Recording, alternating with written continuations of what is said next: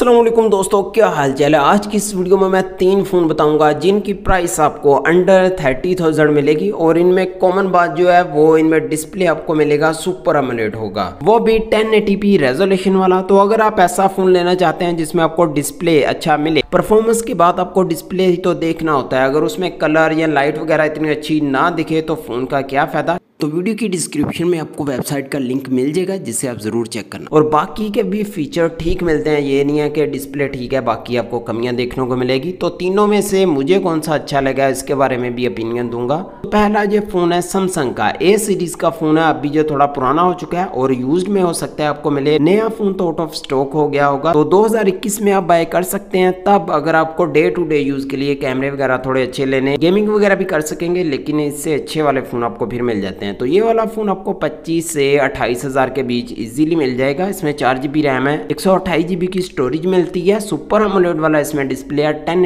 Resolution वाला। MediaTek का P वाला इसमें चिपसेट मिलता है। तो ये वाला चिपसेट आज के दौर में तो बीस में भी दे रहे हैं फ़ोन लेकिन इसमें बाकी ओवरऑल जो ऑप्टिमाइजेशन है ओएस की वजह से सैमसंग के तो आपको ठीक स्पीड वगैरह मिल जाएगी। और चार कैमरे बैक पे मिलते हैं 48 मेगापिक्सल का मेन कैमरा 20 मेगापिक्सल का इसमें सेल्फी कैमरा मिलता है फिंगरप्रिंट स्कैनर अंडर डिस्प्ले और बाकी के ज़रूरी सेंसर सभी हैं। जेरोस्कोप वगैरह पाँच हज़ार एमएच की बैटरी इसमें लगाई गई है और पंद्रह वाट का फास्ट चार्जर है। नेक्स्ट फ़ोन है वीवो वाई फिफ्टी वाला। वीवो के एस सीरीज़ वाले फ़ोन काफ़ी पाकिस्तान में सेल हुए थे। एस वन और एस वन प्रो वगैरह। उसी डिज़ाइन के साथ सिर्फ़ इसका नेम चेंज किया गया है। डिज़ाइन वगैरह आपको उन्हीं जैसा मिलता है और इसका कलर वगैरह को चेंज कर दिया गया है। तो ये वाला फ़ोन आपको पच्चीस हज़ार के अराउंड मिल जाएगा। सुपर एमोलेट वाला इसमें डिस्प्ले है। टेन रेजोल्यूशन वाला six point three eight inch का वाटर ड्रॉप नोच वाला स्नैपड्रैगन सिक्स सिक्सटी फाइव वाला इसमें चिपसेट मिलता है। तो ये भी डे टू डे यूज़ के लिए अगर अपना फ़ोन लेना है, तभी है। गेमिंग भी कर सकेंगे, लेकिन इससे अच्छे चिपसेट हैं जो कि गेमिंग वाले लेना चाहते हैं तो तब रिकमेंडेबल नहीं है। चार जीबी की इसमें भी रैम है, एक सौ की स्टोरेज है। 48 मेगापिक्सल का ही कैमरा बैक पे मिलता है। इसके भी चार कैमरे लगाए गए हैं बैक पे 8 मेगापिक्सल का अल्ट्रा वाइड कैमरा 16 मेगापिक्सल की सेल्फी इसमें मिल जाती है। फिंगरप्रिंट्स के अंदर अंडर डिस्प्ले है और इसमें भी सभी सेंसर मिलते हैं। जेरोस्को वगैरह हार्डवेयर मिलता है। चार हज़ार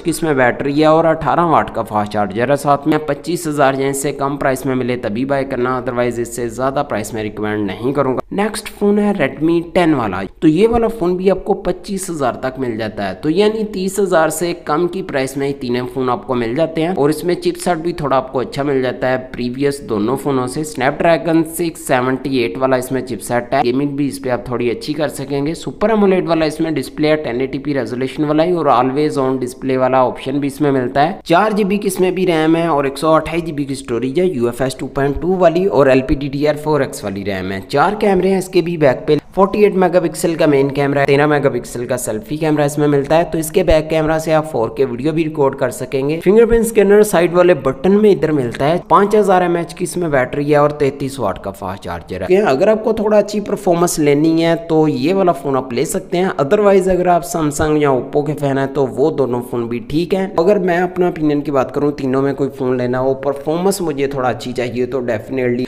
तो रेडमी नोट टेन एक अच्छा ऑप्शन है। अगर पच्चीस तक मिलता है तो बाकी आपको कौन सा फ़ोन ठीक लगा, इनमें से कमेंट में बता सकते हैं। वीडियो अच्छी लगी हो लाइक शेयर कर देना। चैनल सब्सक्राइब करने मिलते हैं नेक्स्ट वीडियो में। लाफिज़